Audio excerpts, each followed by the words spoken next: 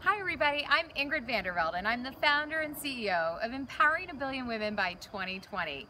And I meditate the vote because I believe if we're gonna create a global sustainable future, it's gonna happen through a new set of eyes. And that is the eyes of women.